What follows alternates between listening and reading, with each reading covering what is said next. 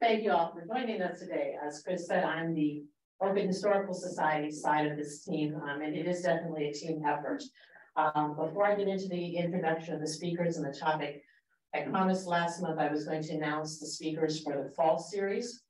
So if you are interested, on September the 17th, we're having Anne Hagedorn, who's the author of Sleeper Agent, that deals with the Polonium and the Playhouse. When she was doing research for her new book, Secret Agent, she came across an awful lot of Dayton history, including an Oakwood girlfriend for the spy, and it's not in her book. So she's going to come and share all of that history with us in September. In October, Sarah Crushall is coming to talk about Dayton ghosts and legends. So it's a perfect topic for October.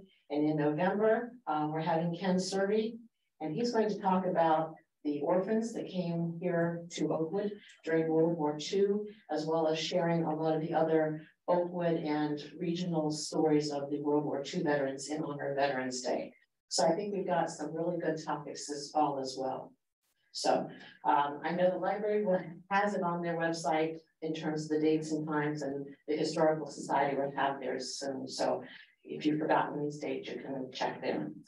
All right, now this is my absolute pleasure because I've already been telling these women that I'm a gardener. Um, I'm a botanist by official training.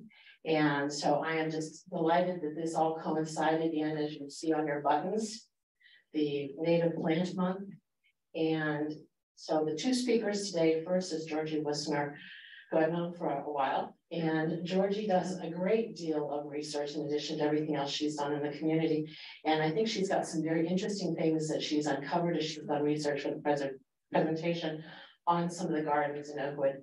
And then Mara Bosch, who is a certified master gardener. For those of you who don't know, it's an extensive program that you go through. I think you, you have to do an internship, don't you, in order to get certified, um, spend a certain number of hours doing the work. And uh, so she's going to be talking to us about some of the trends in gardening now. Um, so if you have plant questions about what can I put in my garden, what's the current thing to do, um, Mara's going to be the one as well as Dorothy to ask the questions. So without further ado, welcome Dorothy and Mara.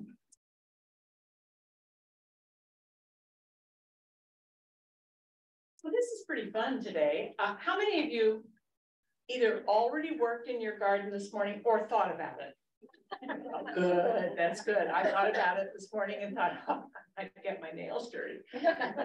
really, so not a problem. Okay, hold on here. Uh, this is a brief tour of some of Dayton's really grandest gardens. These are gardens that um, from 100 years ago, and I picked gardens that either are no longer there, so you get a sense of what used to be, or gardens where most of the action's in the back of the property and you can't really see it from the street. Now I gave you a list of the all 18 houses and addresses of the garden tour from 100 years ago. Please don't wander into their yards. I think that could be a huge surprise for some of these people. Uh, but it's interesting to see how they put this together. Dayton had two major landscape architects. The first were the Olmsted brothers and the earliest that I find of their working with Dayton residents was about the end of the 19th century. Um, and they are, they are out of Brookline, Massachusetts, and they're still active today, or more or less. And then Sam Zering, a Harvard graduate who went first to Detroit and decided that Dayton was a better, had more prospects for him as a landscape architect and moved down here. So uh, in May of 1928, the Garden Club of Dayton hosted a one-day uh, tour, a series of tours of 18 houses, and 300 women drove up from Cincinnati for the day. It just kind of blows me away. Um, the work that you're going to see, I, Donna was very gracious to give me credit, but most of this work was done by Cindy Garner and Frances Repinger, two members of our garden club, uh, who did the work who documented all of this, who found these pictures. These are slides uh, that are in the Smithsonian, uh, both out at Wright State and in the Smithsonian's uh, Archives of American Gardens uh, for everybody. They're hand painted, hand painted glass slides. They're pretty cool from 100 years ago. Okay, I don't, oh, oh, I know, no, wait, okay, sorry. So let's talk for just a brief minute about the characteristics of classical gardens. Much like classical uh, music and classical painting, classical architecture, it's very similar in the sense that it's clearly defined geometry, dramatic focal points, symmetrical details. Um, we'll see a lot of it today, and I'm going to walk you through one of my favorites first. We're going to start with High Acres, which was the home of Fred and Ethel Rike, garden designed by Sam Zering. This property is on the northwest corner of Ridgeway and Dorothy and was originally the Patterson family's summer home. Their winter home was here in Oakwood, the summer home was in Kettering. Rikes, a, a Rike department store family borrowed the property for several years after the flood in nineteen thirteen, and then bought it for a dollar plus consideration from the um, Pattersons, tore it down and built a much more formal home. The property had twelve acres and big commanding views looking west out of the back of the house. Now, this is one of the original garden design plans. And let's, let me just make this work. I may have to be here. There, oh, no, no, no, no. no, no. No, okay, there. You have to be in front of it. There it is, okay. So I said, I said that it's Ridgeway and Dorothy. We've all been through that intersection a thousand times right before you go over the bridge. I do point out, this was twelve acres. And this back here, you hardly ever notice it, but it's still there. There's a cutout road that provided service access all the way around the property to the eight car garage over here on this side. But mostly people went in the main entrance, circular driveway, and the house. Now mentally divide the map in half, starting right under the H, come straight down, because the property really does divide out in an interesting way. On the left hand, on the left hand side, it's mostly recreational, less formal. The uh, swimming pool was here, and you got there through a wildflower garden, and this was left in a much more rustic state. And it was typical of the time because the area around the house was much more tended and planted and formal. And then a series, oh, pardon me, a series of formal laid out gardens came down and led back here to some, uh, these were fruit trees. These, this was a, uh, both a cutting garden and vegetable gardens. There was an outdoor grill back, or fireplace and grill back here. Their greenhouse, sort of the working aspects of a big yard. Now let's be 100% clear. Mrs. Rike did not do this by herself. She met every single morning for coffee in her breakfast room with her eight gardeners, or at least some representative of her eight gardeners. I could be a fabulous gardener.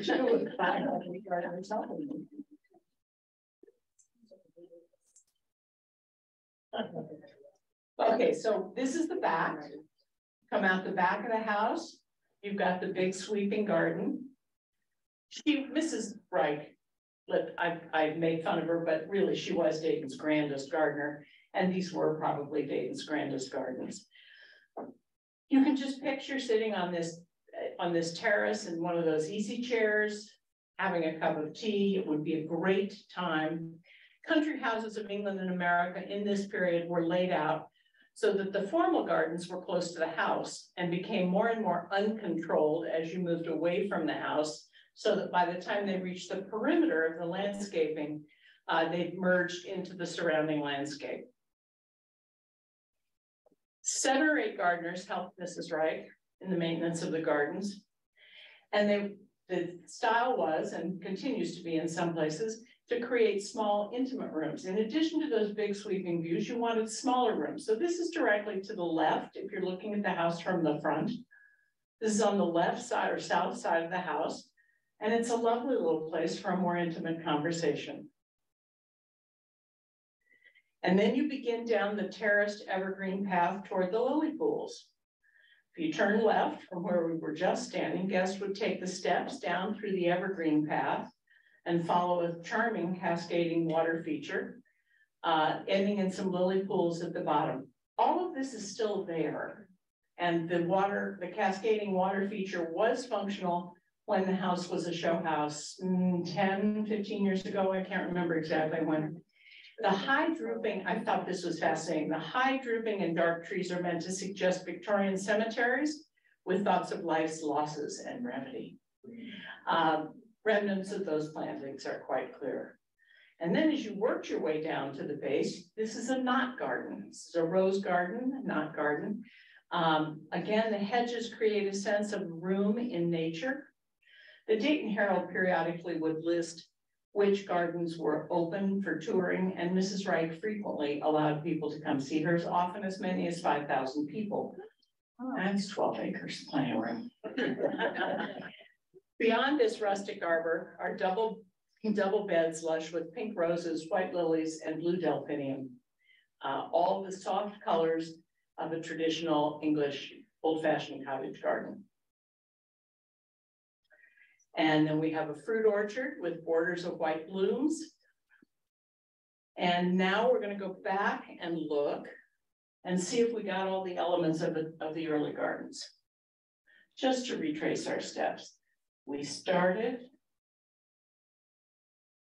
Come on, we started here at the house.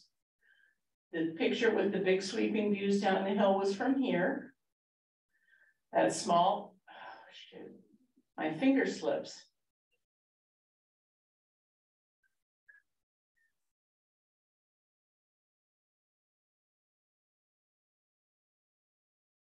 Small intimate garden was here. The evergreens and the cascading waterfall. Ending in the lily ponds. The knot garden. And then you move through the rustic arbor and the delphinium and the lilies and roses and through uh, some fruit trees and on down, and you're pretty far away from the house by now. We're going to look now at a couple more houses that share the same characteristics, but on a smaller, possibly more manageable scale. Beginning in the 1890s, industrialization had created both wealth, free time, and an explosive interest in gardening. Dayton was no exception. The Haswells lived at the corner of Maysfield and Southview. Uh, this house is highly visible from the street. The same sweeping front yard down to Southwell, Southview. Mr. Haswell was a prominent iron firm executive and associated with both Dayton Malleable Iron and NCR. This is different in that it has the grand scale uh, axial crossways. So right across the front of the house is this big, uh, clearly landscaped walkway divided up geometrically with crosswalks and solid volumes of the flat and clipped hedges contrast with the voluptuous fullness of the flowers beneath. And at the far end of that axial walkway and visible from South View, sort of, uh, on the far left-hand side of the house as you're looking at the front door, um, is this really charming uh, water feature dipping pool with the blue jars. And it was the jars were supposedly used to water the plants. The roses are painstakingly trained in the French style on uh, an extensive trellis.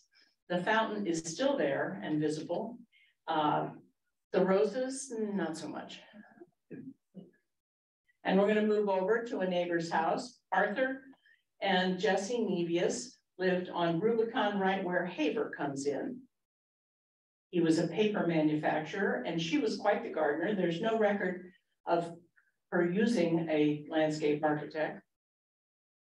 But she did love to have her picture taken in her garden and we got married, so we love these pictures. So this is Mrs. Nevius. I love it. She's in her garden. She's got her cutting basket in her hand, her skirt, her heels and her hat. I've gardened all day yesterday. It's exactly what I look like. I love this for the wisteria. You see all that climbing wisteria up the side of the house? these are the days before air conditioning and they, you know, in the spring, you'd have had your windows open and it would have just smelled heavenly. This is, uh, Nevius is there in the pink, right in the middle. Uh, and I love the birdhouse. It's bigger than Mrs. Nevius. Right in the center of the picture, huge.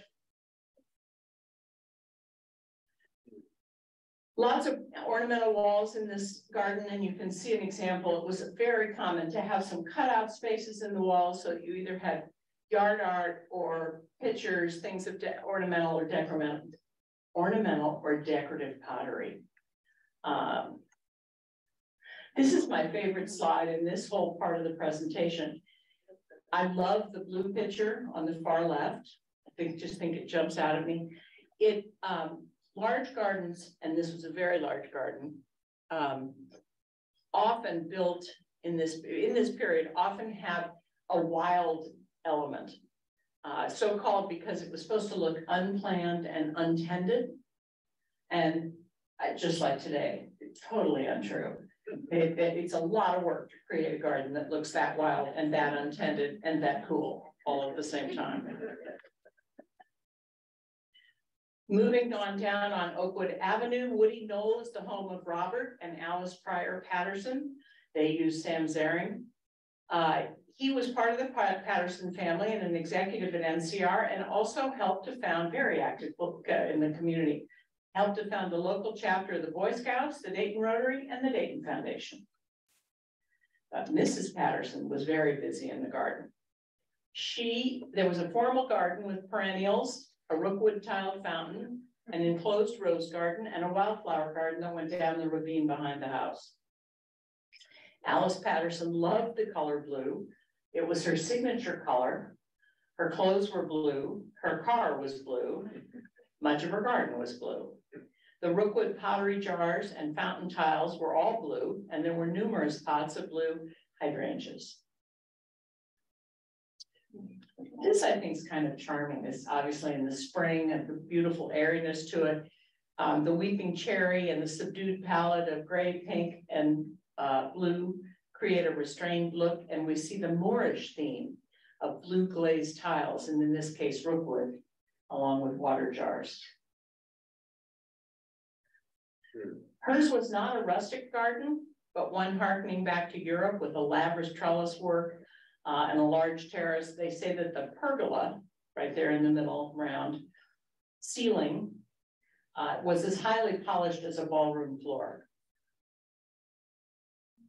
Moving on to Runnymede. Runnymede was the home of, of the garden, home and gardens of Harold uh, and Katharine Talbott and their nine children. She had five children under six and then had four more. Mrs. Ta Mr. Talbott was an industrialist, like many of the men mentioned today, but it was really Mrs. Talbott who was the real energy and go-getter in this family. Mrs. Talbott was a force to be reckoned with, and just for starters, uh, she's credited with founding the Garden Club of Dayton and the Westminster Choir College, which was founded at Westminster Presbyterian Church before it moved to New Jersey. This house, let me see. At the edge of the property, it's that same moving toward a, a much wilder look. Uh, the woodland garden extended about four or 500 feet out from the property and is real different in feel from the swimming pool, uh, which was closer to the house, the formal Italianate pool. Here, the stone, we find precisely symmetrical arrangement of two bathing pavilions, lengthy um, columns, uh, and a Moorish style. Unfortunately, the house and the gardens are no longer there. During World War II, the playhouse was used for research in the Manhattan Project and was razed because of radioactive contamination. We think that Catherine Terrace, the street Catherine Terrace, was probably the driveway uh, for this house. And then we moved to her daughter's home, Elsie Talbott, uh, wife of George Mead, uh, built this house, lived in this house. And they, what they did that was unusual was that they hired a different architect. They hired El, uh, Ellen Biddle Shipman. And she was one of two or three female landscape architects in the country at this time uh, and did really fabulous work. She was known for her formal gardens and lush planting style. Behind the, uh, behind the house, uh, there's an intimate terrace, there was an intimate terrace garden with attractive setting under large trees. Also a swimming pool, horse stables, vegetable and cutting gardens, an orchard with perennial border and a vegetable garden beyond that. I'm thinking there were some other gardeners in there too. This is a this is a fun one because I spent 35 years living uh, on Rubicon and did not know this. This is the home of John and Julia Patterson Crane, property designed by the Olmsted brothers. This is on the corner of Sawmill and Rubicon. It is no longer there. Uh, it was torn down and replaced by the Rubicon Mill condominiums. But when it was there, you can see this really formal, classical, balanced house. And then it comes down a big sweeping stairway and into these really deep gardens with um, the entire back was the house and gardens covered the, the whole block and the back of it then dropped down into these uh, steep steps, sheltered area, towering trees overhead and deep borders of a variety of flowers all around. I have trouble when I drive by Rubicon Mill condominiums picturing this on that property, but you can all try it. And the last home we're going to look at is the home of Robert Dunn Patterson and his wife Henrietta Lau Patterson. This garden was designed by the Olmsted brothers and there is a fabulous interactive website called Olmsted Online that allows you to go back and find the correspondence, handwritten correspondence and working papers between the Olmsteds and all of their clients all over the country. So you do a search on Dayton, you look up private estates and yard or private estates and gardens, and you come up with these fabulous letters back and forth between the clients and the Olmsteds. I found them for the current owner going back to about 1904. This house was built in 1905 or six, if I remember correctly.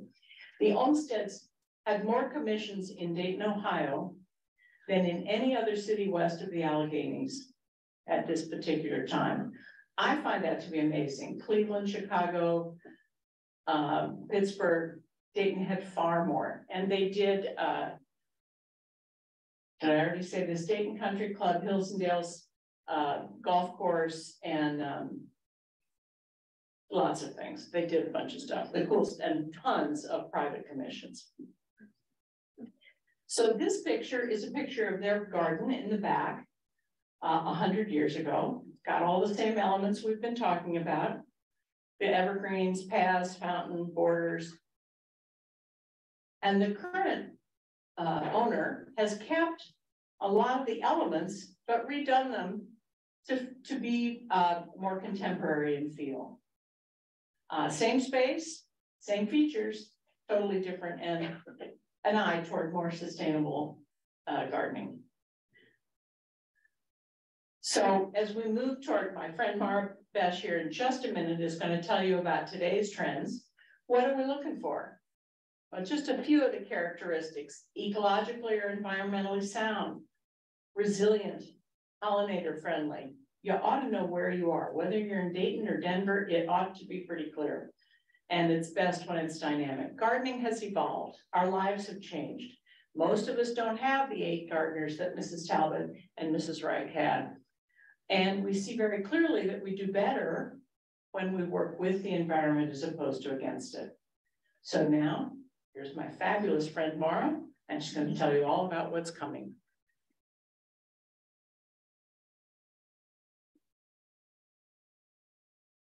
Wow. I love looking at those gardens because really you do see some pollinator friendly situations. Um, so that's good to good to see. Okay, so I'm going to focus on native plants and rebuilding habitats. The things that I really think are important are first defining native plants, then going over some of the benefits and importance of native plants, and then focusing on what Doug Tallamy um, says that each of us can do to provide more habitat, more diversity for our pollinators. Okay, never mind. All right, definition. Um, I think uh, as I look at this group, I see a lot of people who already are native plant fanatics, so thank you. and probably something that you already know, but they are found naturally within our ecosystem or habitat um, without human introduction. Okay, they've evolved over hundreds of years. A great resource is the National Wildlife Federation. And on your PowerPoint handout, I have listed every um, link and reference at the end of, of the PowerPoint. So how many know what, let's see if I can point this, what that is? Oh, Georgie knows better. Don't put me on this. It's a viceroy. It's a viceroy and it's a fake monarch. And why do you suppose it's a fake monarch? Monarchs don't get taste good. Yes, monarchs don't taste good, so that's a very smart butterfly. All right, um. Our native plants thrive in the local conditions, including soil, rain, temperature, and therefore match their growing requirements. Um, they usually require less water and maintenance. I say usually because we are seeing a shift in climate change, so that's always interesting to see what's going to happen. They offer uh, the most beneficial habitat. They have formed symbiotic relationships with the native wildlife, and I am biased. I think they are beautiful. They also help prevent runoff in your, um, you know, extensive rain. What, what was it? The beginning of April, did we get? Five inches and kept coming and coming, and we were wondering if spring was ever going to be here. Uh, the deep roots of some of these plants help prevent runoff um, and keep the soil from getting compacted. All right. So gardeners work the soil. We add compost and mulch. Um, if you plant a wide diversity, you help. Imagine this, you help sequester carbon in the soil. We like that. Trees sequester a lot of carbon. And so your native plants do too. Different root, root depths um, help to penetrate all parts of the soil and spread the nutrients around. Now, in your handout, I have some native plants. It's not the same one as this, but this is, if you look at this, a common nine bark, which is a native shrub, look at the root depth there. Black-eyed Susans, prairie dropseed, buffalo grass. Look at your turf grass. Barely there with root structure. Now, is that going to prevent runoff? Daylily spirea, excuse me, spirea, not so much. Now the handout that you have, look at this. Now you can see some of these plants down to 15 feet root depth. That's incredible. Now that helps stabilize your soil. So you have uh, grasses, flowers, um, even shrubs that help stabilize the soil um, enrich the soil, prevent runoff, what's not to like?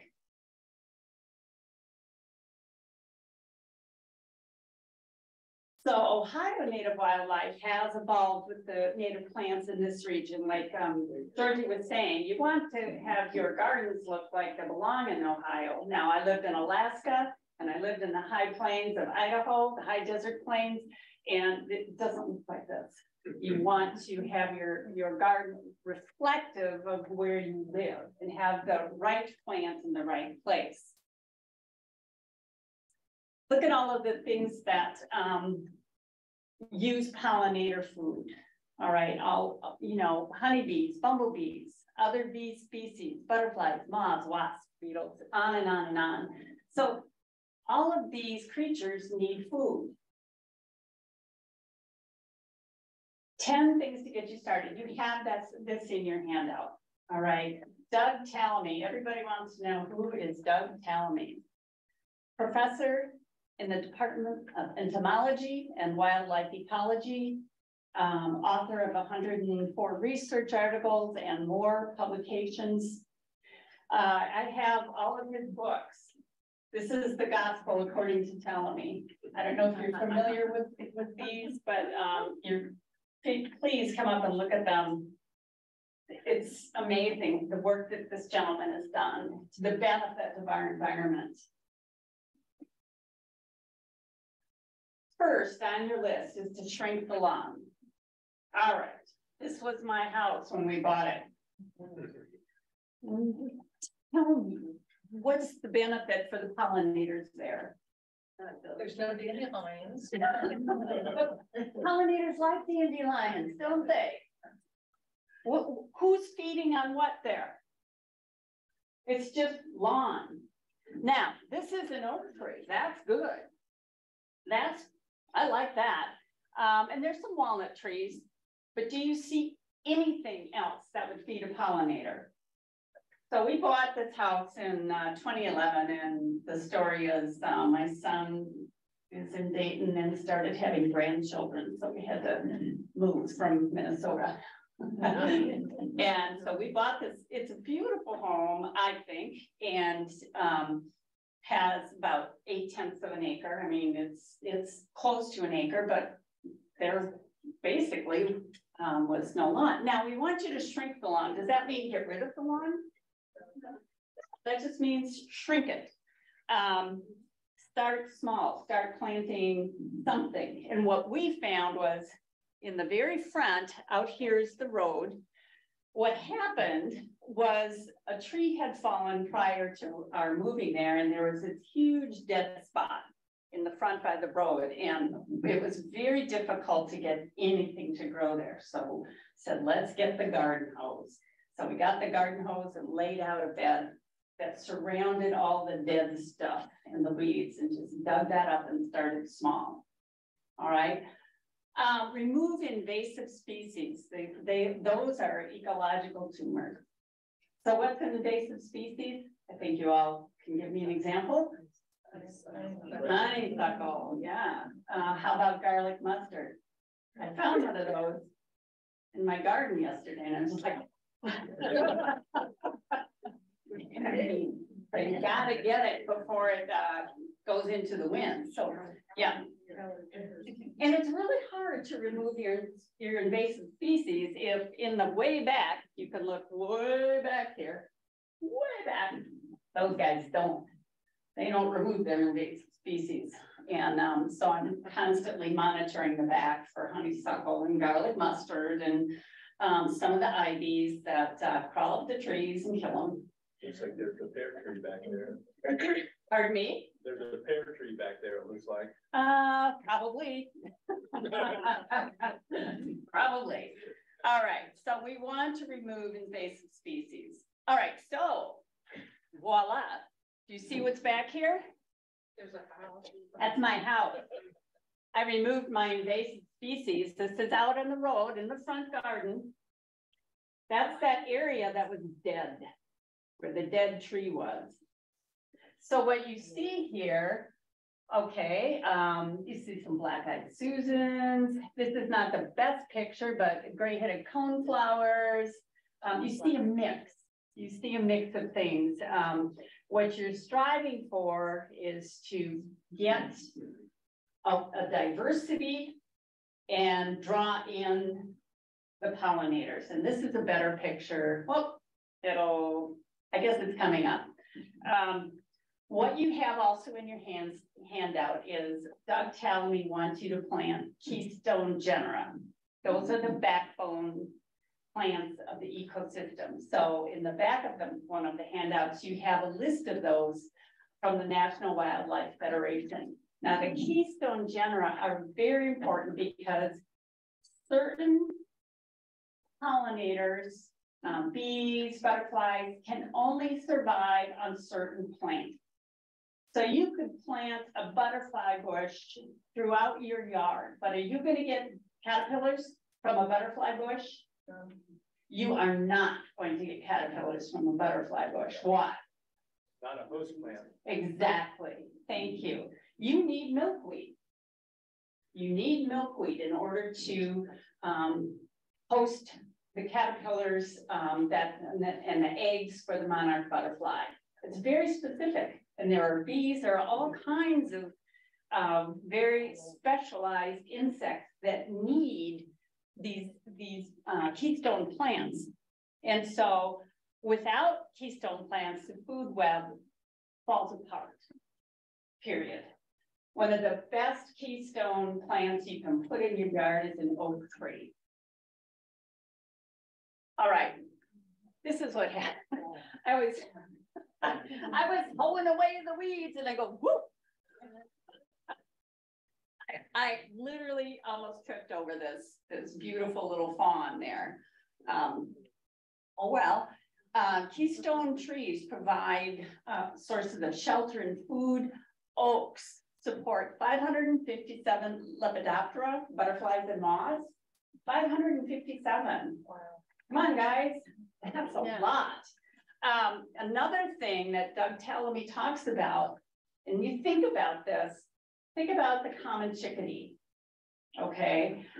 How many caterpillars in the spring does it take to raise a batch of chickadees? How many? Guesses? Thousand. Yeah. Six thousand average. A day? No. To raise a batch. Oh, So you may not know this, but early in the spring, there are caterpillars on your trees. And the chickadees have to um, find them. So if you don't have any trees, you're not going to be able to um, help those chickadees out. It's, it's important that you have some of these keystone plants. All right, be generous with your plantings, increase abundance and diversity. Okay, so here we see a few more. You see purple coneflower. Um, this is uh, Heliopsis back there, prairie dropseed. That's a fun understory plant. Very fun um, grass. Green-headed coneflower, liatris, switchgrass, all of those are native plants. But I also have some non-natives in there because I like color, different color. That's moonbeam coreopsis there. And there's a balloon flower in there. Um, the bee balm is a cultivar. That's another thing we need to just kind of branch off on cultivars and native nativars. Those are different terms. Um, Doug Tallamy says, and again, the gospel according to Doug Tallamy is to strive for at least 70 percent of true natives. And why is that? Why wouldn't you want to trust all of the cultivars and nativars that are out there? Yes, sir. Because cultivars are bred from flowers, not nectar. And there's a difference, yeah. I mean, some of them may provide nectar, but you don't know the quality of the nectar that you're getting or the quality of the pollen that you're getting. And there is research out there and they, they do, you know, plant to plant research where they um, actually have a cultivar and then a native and then they count the number of bees on them, things like that. Um, but you, true natives are the best for, for um, habitat. Again, um, now again, this is uh, more native plants, prairie dock. Um, and that's a compass plant up on the left. How many feet does that root system go down? 15 feet, even in my clay crummy soil. Maybe only 10 that soil. Um, but looking in the front, what do I have there? What are those? So there's some zinnias. Now, why do I have zinnias if I'm such a native plant person? Because color like pink and red will bring hummingbirds. This is the butterfly buffet. You really want to attract butterflies or exactly bees, pollinators. And for a monarch way station, which my garden is, um, you want to have some annuals in there. So I just chose some zinnias to put in there and uh, lovely color and I also see um, butterflies on them. So again, um, I, I like to choose a wide variety of colors. This is a little different structure from what Georgie was showing us. Yeah, I'm more of the wild uh, side of gardening, so. Um, this is an important slide. I love this picture. My friend Eric Stavali took this. That's a bee butt. uh, reduce your night nighttime light pollution. Why? Well, there's one of the answers up there. Have you ever looked at your lamps at night and you see all the dead bugs in them? Moths pollinate at night. All right, so you're killing your moths. You're killing a lot of your nighttime insects, your fireflies, things like that. So please um, think about that. Reduce nighttime light pollution. Uh, we put up motion lights. So if, you know, if we're a little nervous about who's in, who's coming around the house, the motion light will come on, otherwise it's pretty dark. All right, network with neighbors, get on the homegrown national park map. That's Doug Tallamy's website. And um, I've done that. I've also done National Wildlife uh, Federation certification habitat. Um, there's all kinds of things you can do. A monarch way station, pretty soon it's just going to be a big sign on my yard, and I did it. I did it all. Oops. Number seven, conservation hardscape. Keep the height of your mower up a little bit. Cover your window wells. I have found uh, frogs in my window wells and I didn't look like they could get out. So um, try to do that and keep the creatures that you do get, keep them healthy. This is important too, and I never really thought about this. Uh, underneath your trees, especially like your oak tree, we finally um, put one in this year all those wonderful caterpillars and things that are coming down to be fed, um, the robins can feed the chickadees and things. Well, you're just gonna chop them up with your mower. Build a concert, build a um, pupation site underneath the tree. And you can see I haven't done it under the walnut yet, but back over here, we did it under our oak tree. Um, so you can put ground cover there and when the caterpillars come down, they have a place to land. And you don't chew them up with your lawnmower. It just doesn't make sense. So I'm doing all this good work and there you go with the weed whacker and the lawnmower because we like tidy lawns. Woo. What do you think about this slide? All right, first of all, you don't need fertilizers for native plants. You just don't. If you fertilize your native plants, they're gonna go really lanky and they're gonna flop. So that's, that's a benefit. You don't have to waste your money on fertilizers. Pesticides, please avoid pesticides. Now, I was talking with someone here about um, um, some of the neighbors that use the mosquito stuff. I've already had a neighbor in April have a, um, I don't want to say the name, but anyway, came and sprayed for mosquitoes and they're kind of kitty corner from my yard and I just go, oh, um, because that that's gonna defeat the purpose of um, some of the things that you're striving for. And if you're using pesticides on your lawn, that's gonna defeat the purpose of what you're striving for. So please, if you if you need to use um, a pesticide of some sort, keep it very minimal um, or spot. You know, if, if you've got that lesser celandine invasive stuff, maybe paint it instead of spray it. Does that make sense? Good, good. So you just you don't need fertilizer, and um, probably don't need a whole lot of pesticides, especially with native plants. You should need fewer because they are native to the region. Ooh, this is my garden, all of these. Um, this was, came out and saw that and I thought, okay, it won't be long and moments later, there was my monarch. Yeah, that was really sweet and precious to see. And then I was trying to get it to open its wings up so I could see, you can tell if it's male or female. And um, I think that's a female, because the males usually have two spots, but anyway, as soon as I got up close, took off. This is smart butterfly, but anyway, zoning rules, why should you um think about zoning rules in your neighborhood? People might be a little bit um, upset if you're changing um the look of the neighborhood and planting uh, some of the native plants and grasses because I've had some friends that's uh, not, it didn't happen to me. Luckily, my neighbors have been pretty accepting. In fact, some have even joined in. But I have had friends that say, that have called the um, zoning people and say, gee whiz, your grass is taller than eight inches, so you better get mowing it.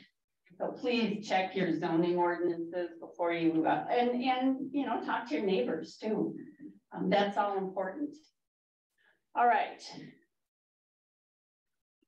Tips for beginning, start small, add to your garden each year. I've got a flyer up here that has some really easy steps.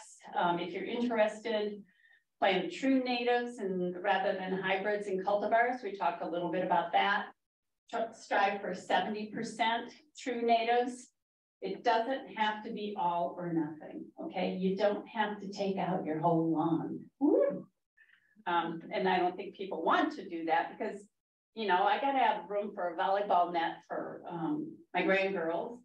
Uh, I've got to play croquet, um, all kinds of things that, um, I do outside.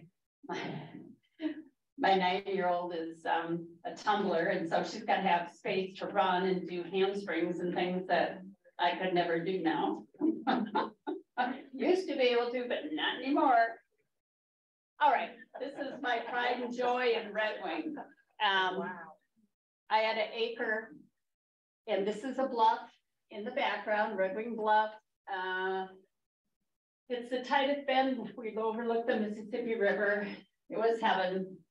You see the Rudbeckia, um, Pye, um, and then I put in some canna bulbs and then I have Russian sage and a lot of native grasses. Uh, it, it just was a riveting morning with the sun coming up. And that was, I had to leave that behind, but I gladly did to um, be with my family. And so all of those plants are in there. Those are native plants. Now, somebody please tell me that that isn't okay. Yeah. you know, native plants are stunning. They are just stunning. And the, my gardening style is totally different from a lot of other people, but I also feel um, the way that I am trying to benefit habitat and nature, it's, it's worth it. So that's all I have. If you have questions, uh, thank you, thank you, thank you. Yes, ma'am. All right, we, back a couple pages, you were talking about ground cover. Um, yeah. We have in our front yard, grass that is dying out uh, because of two or three shade trees that we have there. What would be suitable ground cover uh, for that area? And one of them is on a downward slope. Downward slope ground cover in shade. There are many uh, native ground covers that I guess what it would depend on is your soil type. And um, there, my favorite ground cover is wild ginger. It's just beautiful. Yeah. Do you have more it? Oh, yeah. More of it. Here's a question for you. Do you have a witch hazel? No, I don't. You need to get one. I do. I've got three hundred and sixty-five days of bloom in my yard. And I'm talking winter with snow, without snow. He also does the Wegerzyn um, witch hazel collection. Okay, thank you. Yeah. Yeah, if you haven't been to Wegerzyn during um, February and March, um, and in the fall, and uh, for the fall colors, witch hazels are in bloom in February and March primarily. There's a few varieties though that bloom in January. I've got one witch hazel that's in bloom a week before Thanksgiving, has a red fragrant bloom, blooms all the way through Christmas, December, January, and sometimes blooms all the way into March. Oh, and, and um, Occasionally I do tours at Wegerzyn. We have hundred and twenty different cultivars of witch hazel. Probably the largest collection in the United States of witch hazels. Thank you. Um, oh, that, that's Russian sage. Is it Russian? Yeah, now I need to clarify, the slides that I did show were just of my front yard. I've got beds around the entire backyard and on the side and stuff, but I didn't have good enough pictures for, to show you all of that, and but we should sleep anyway. But uh, more questions. Question from Zoom. Oh, hi, Zoom. Question, is there a way to receive or pick up the handouts? Oh, That, um, the library, yes, that's a library question. Um, I guess the answer is yes. I just Okay. don't know how. Uh, Talk, just talk to you, Chris. Yeah, I, I'll. I'll put it on. Thank you. Um, she has a copy of the PowerPoint, so she could put that on. Yes, ma'am. Uh, I, we have a handout up here about native plants for for this area. And we also, the poster that Mara's gonna point to right now, right there, Oh. advertises our, uh, garden tour coming up. Coming up on June tenth. And uh, five gardens, five or six gardens, uh, in Oakwood and Kettering, they're perfectly beautiful and fill a whole variety of different kinds of things. So the tickets went on sale yesterday. We sold fifty-three yesterday. I was pretty excited about that. So you be the next. Other questions from our? for anyone, excited that I've gotten two oak trees from the Oakwood County Apple Seed Program. And you were talking about the ground cover of wild ginger. So is that something you go and buy in the nursery where you get wild ginger? Let me repeat the question for Zoom. Um, she's very excited about two oak trees that she got from the, I forget where, Johnny Johnny Appleseed program. And she's asking if, uh, where she gets native ginger, wild ginger. I have a handout out here, up here, and also in, in the references, there are, um. Links to native nurseries. Uh, I get mine bare root and you can plant them in spring. They are, um, mailed to me. Well, in fact, some are coming soon. Uh, next week, you can buy bare root ginger or, um, I'm sure you can buy the plant somewhere. Um, I know, um, there, some of the nurseries do offer native plants. And so you could check the the uh local nurseries and native plant nurseries for that. Yes, There's also the native plant sales this spring coming up. oh, that's right, there, All the Seventh Street market, Market, oh, yeah, Having theirs and then meat, uh, meat Bergamo will be having theirs. Yeah. Free coming up, the native plant sale. But they also, if you go to Ohio, they go to the website, right? On your button that you have, for those of you um that got buttons, there's a link there, you can go there. And that gives you all kinds of information about native plants and the miracle of nature. And for those of you that aren't aware, you should know that um native, Ohio Native Plant Month, which now has extended to be US Native Plant Month.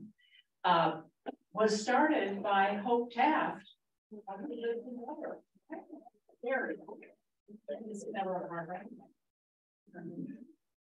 Question, yes, ma'am. No comment. Oh, yes.